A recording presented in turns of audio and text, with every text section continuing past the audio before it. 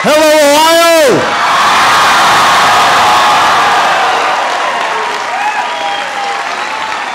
Ah. It is good to be back in Ohio.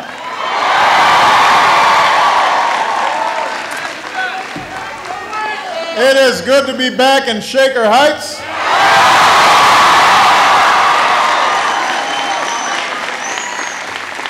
Home of the Red Raiders.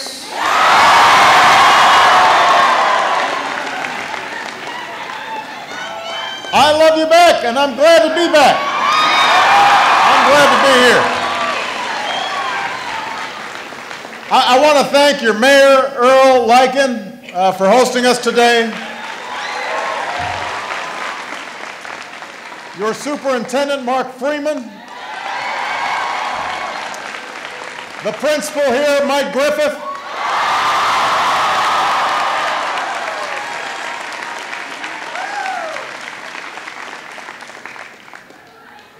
Well, and uh, I know that I, I'm pretty sure we've got a, cou- a couple of Congress people here, but I don't see them. Where are they? The, uh, okay, we got Marcy Fudge.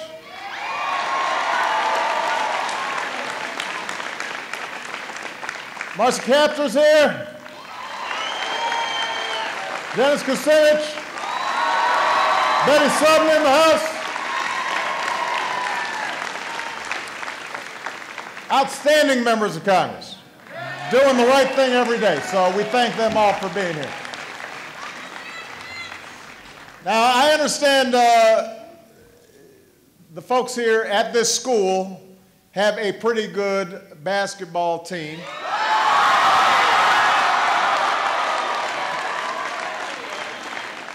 boys, boys and girls. Uh, unfortunately, I have no eligibility left, so I can't play with you. Uh, I, I want to wish everybody a happy new year.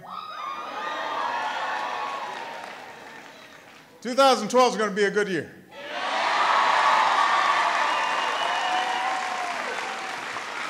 It's going to be a good year.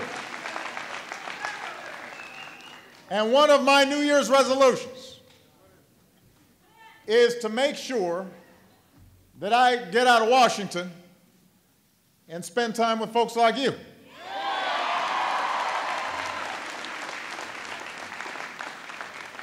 Because folks here in Ohio and all across the country, uh, I, want you to know you, you're the reason why I ran for this office in the first place. You remind me what we are still fighting for. You inspire me. Okay. You do. No, it, you, you, you remind me that this country is all about folks who work hard and where responsibility pays off. An America where anybody who puts in the effort and plays by the rules can get ahead. That's the America you deserve. That's the America we're working to build.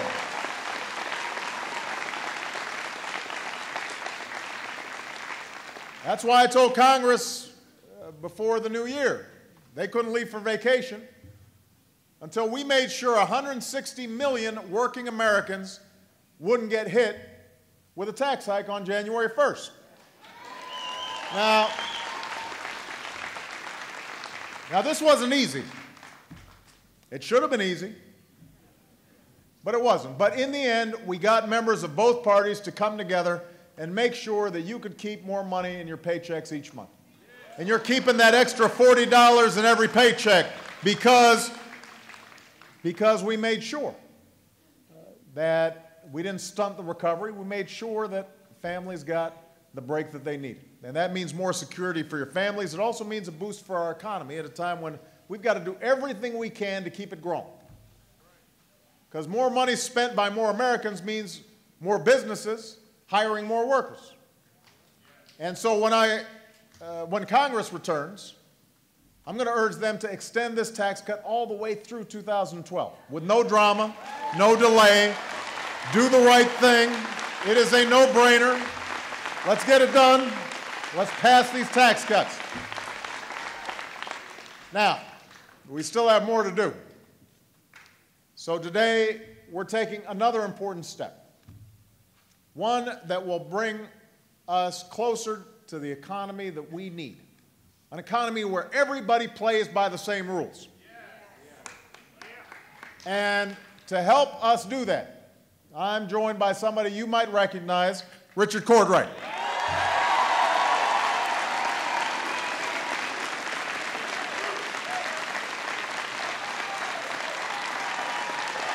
Son of Ohio, a good, a good, good man.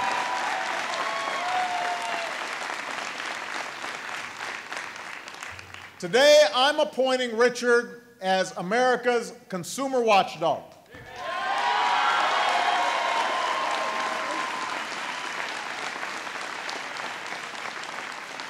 And that means he is going to be in charge of one thing looking out for the best interests of American consumers looking out for you.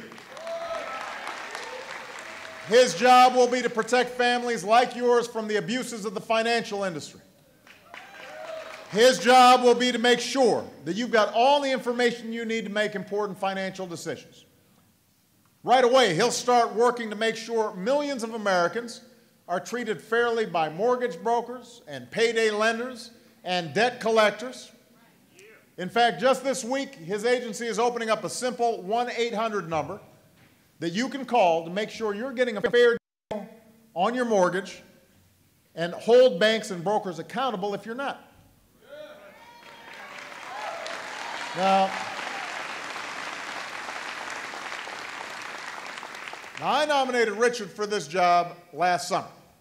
So you may be wondering, why am I appointing him today? It would be a good question. For almost half a year, Republicans in the Senate have blocked Richard's confirmation.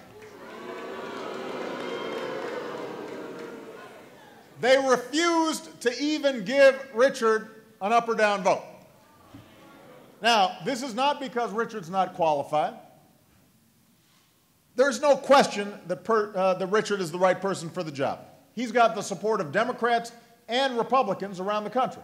A majority of attorney generals, Richard's a former attorney general, a majority of attorney generals from both parties across the country have called for Richard to be confirmed. Your local members of Congress who are here today, they support him. He has the support of a majority in the Senate. Everyone agrees Richard is more than qualified. So, what's the problem, you might ask? The only reason Republicans in the Senate have blocked Richard is because they don't agree with the law that set up a consumer watchdog in the first place. They want to weaken the law, they want to water it down. And by the way, a lot of folks in the financial industry have poured millions of dollars to try to water it down. That makes no sense. Does anybody think that the reason that we got in such a financial mess, the worst financial crisis since the Great Depression, the worst economic crisis in a generation, that the reason was because of too much oversight of the financial industry? Of course not. We shouldn't be weakening oversight. We shouldn't be weakening accountability. We should be strengthening it especially when it comes to looking out for families like yours. You know, the financial firms have armies of lobbyists in Washington looking out for their interests. You need somebody looking out for your interests and fighting for you, and that's Richard Cordray.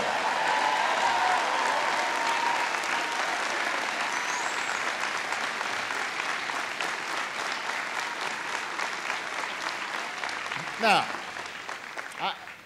to say, uh, Richard's a really nice guy.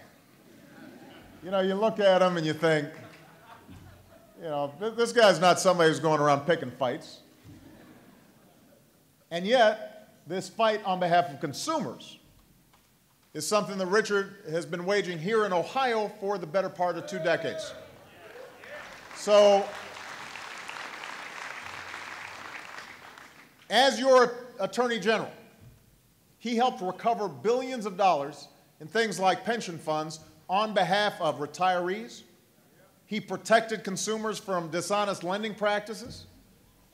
Before that, Richard was the state treasurer, where he earned a reputation for working with folks from uh, across the spectrum Democrats, Republicans, bankers, consumer advocates had a great reputation across the board doing the right thing.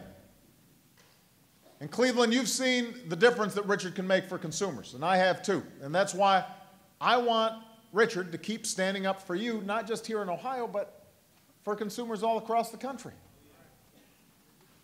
Now, every day that Richard waited to be confirmed, and we were pretty patient. I mean, we kept on saying, to Mitch McConnell and the other folks, let's go ahead and confirm him. Why isn't he being called up? Let's go. Every day that we waited was another day when millions of Americans were left unprotected.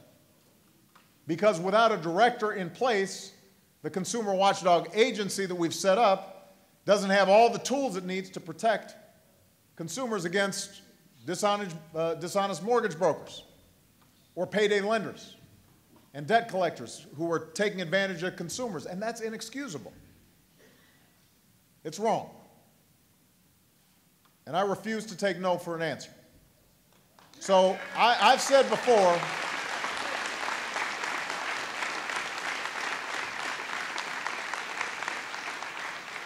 I've said before that I, I, want to look for every possible opportunity to work with Congress to move this country forward and create jobs. I'm going to look for every opportunity to try to bridge the partisan divide and get things done, because that's what the American people need right now. And that means putting construction workers back on the jobs, repairing our roads and our bridges. That means keeping our teachers in the classrooms. That means keeping our cops and firefighters doing what they do, protecting us every day. That means helping small businesses get ahead.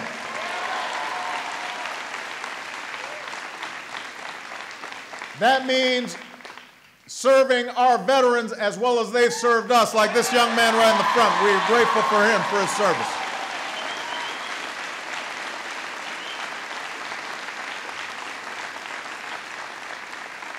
These are ideas that have support from Democrats, they have support from Republicans around the country, independents around the country. I want to work with Congress to get them done. But when Congress refuses to act, and as a result hurts our economy and puts our people at risk, then I have an obligation as president to do what I can without them.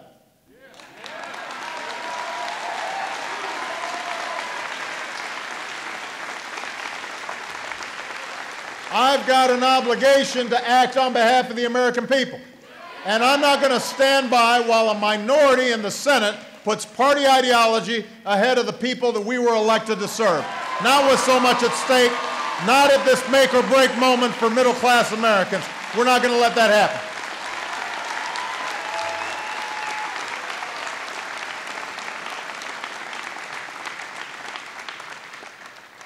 For way too long, We've had a financial system that was stacked against ordinary Americans.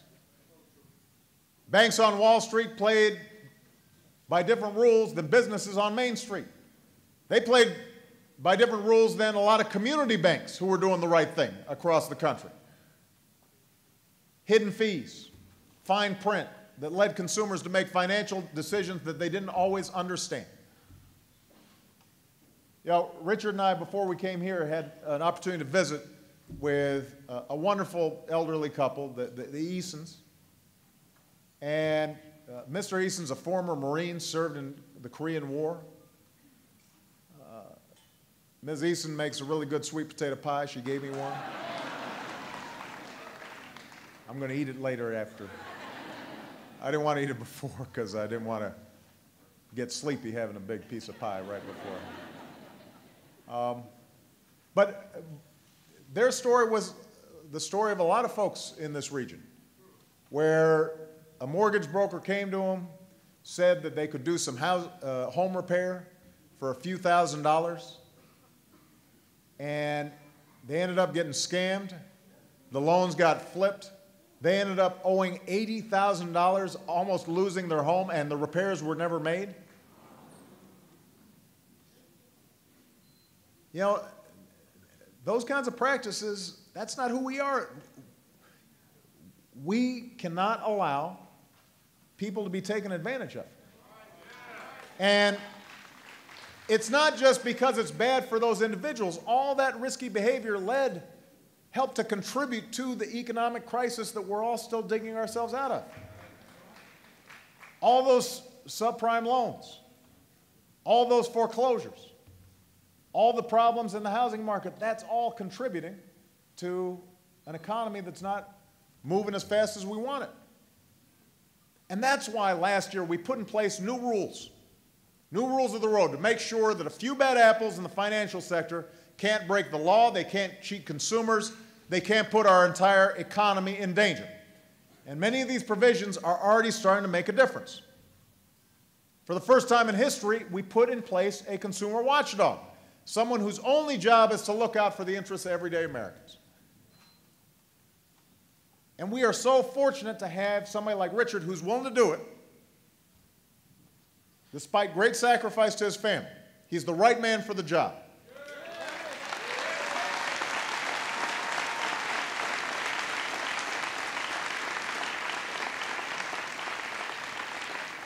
So if you're a student, I see some young people out here, his job His job will be to protect you from dishonest lending practices and to make sure that you've got the information you need on student loans.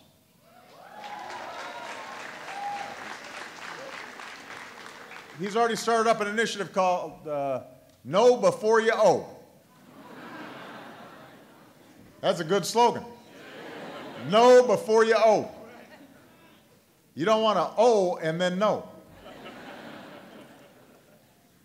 If you're a veteran, he'll help make sure that you aren't taken advantage of when you're coming home from serving your country. And you know, it turns out that military families are some of the folks who are most vulnerable to some of these financial uh, abuses. If you're a senior, Richard's going to help make sure you don't lose your home or your retirement because somebody saw you as an easier target. And that's what happened to, to the Easons. And Dia, who I think is here. Ms. Eason, are you here? You're somewhere here. There, there's Ms. Eason's down there. Um, 91 years old.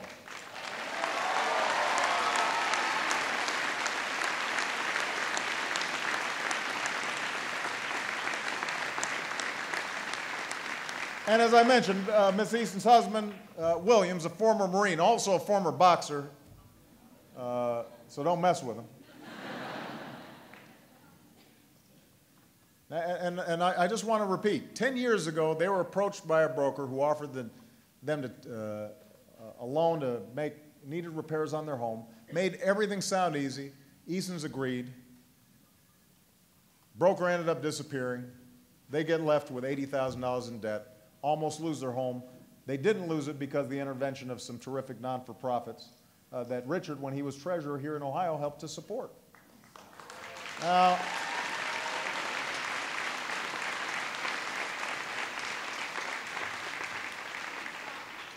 ESOP, that's right.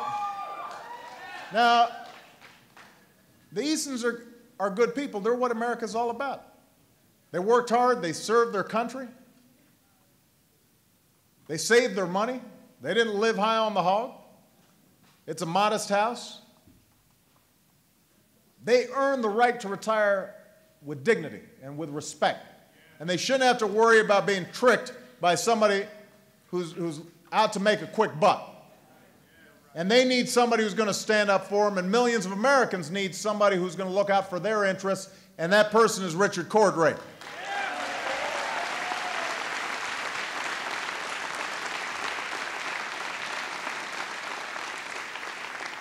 And we know what would happen if uh, Republicans in Congress were allowed to keep holding Richard's nomination hostage. More of our loved ones would be tricked into making bad financial decisions. More dishonest lenders could take advantage of some of the most vulnerable families. And the vast majority of financial firms who do the right thing would be undercut by those who don't. See, most people in the financial services industry do the right thing, but they're at a disadvantage if nobody's enforcing the rules. We can't let that happen. Now's not the time to play politics while people's livelihoods are at stake. Now's the time to do everything we can to protect consumers, prevent financial crises like the one that we've been through from ever happening again. That starts with letting Richard do his job. So I know, I, uh, let, let, me just close by saying this. I, I know that you're hearing a lot of promises from a lot of politicians lately. Today, you're only going to hear one from me.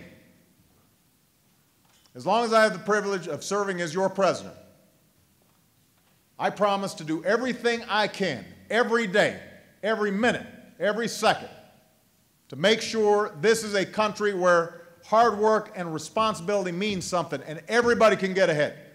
Not just those at the very top, not just those who know how to work the system, but everybody. That's what America's always. That's what America's going to be about today and tomorrow and 10 years from now and 20 years from now. And with the help of people like Richard Cordray, that's the country that we will always be. Thank you.